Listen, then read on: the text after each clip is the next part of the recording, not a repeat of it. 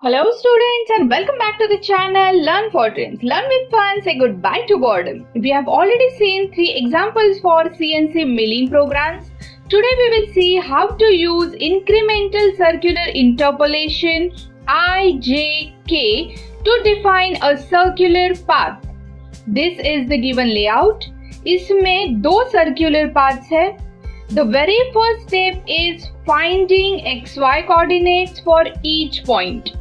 Point 1 is origin, point 2 0 50, point 3 20 50, point 4 60 50, point 5 65 50 and point 6 65 15.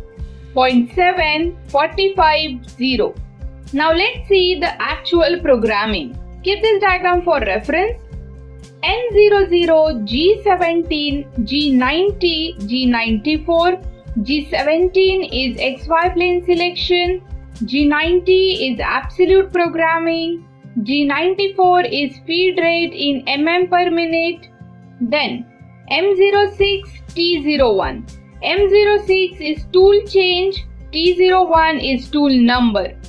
Then N04, M03, S800. M03 is spindle on in clockwise direction and S800 is spindle speed in RPM. N06, M08. M08 is coolant on, then N08, G41, G00, X0, Y0, Z10, F150.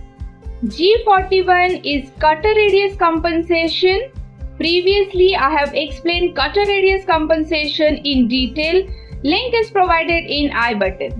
Now, G00 is rapid travel. N10, G01, Z-6, F80. G01 is line interpolation. अब point one पर drill कर दिया और cutting operation start कर दिया we have considered depth of 5 mm. Then tool will move to point 2, N12, G01, X0, Y50. अब point two to point three में है सर्कुलर पाथ इसके पहले वाले प्रोग्राम्स में हमने डायरेक्टली रेडियस वैल्यू दिया था अब हम इंक्रीमेंटल सर्कुलर वैल्यूज़ देंगे एक्स डायरेक्शन के लिए we will use I and for Y direction we will use J From point 2 to 3, it is in clockwise direction. Hence, we have used G02. And point 3 to point 4 में circular path है, but it is in anti-clockwise direction. So, we have used G03. अब I और J के values कैसे find करते हैं वो देखते Listen to me very carefully. Point 2 से पॉइंट थ्री पर जाते वक्त you need to define coordinates for point three with respect to the centre point of the circle अब सेंटर पॉइंट से 10 एम mm पर है point three in X direction hence, i value is 10 mm and and y coordinate is not changing.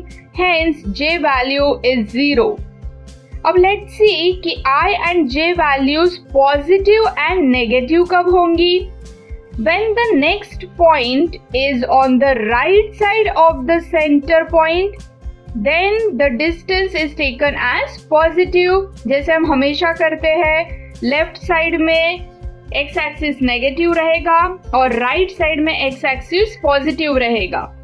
Now let's see second circle now you are at point three and moving towards point 4.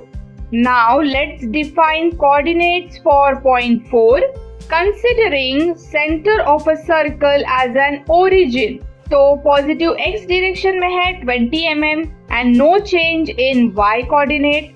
So I value is 20 and j value is 0. I hope it is clear now. Then from point 4 to point 5 N18, G01, X65, Y50.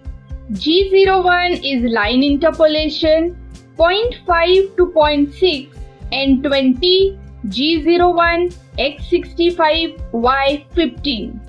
0.6 to 0.7 and 22 G01, X0, Y0.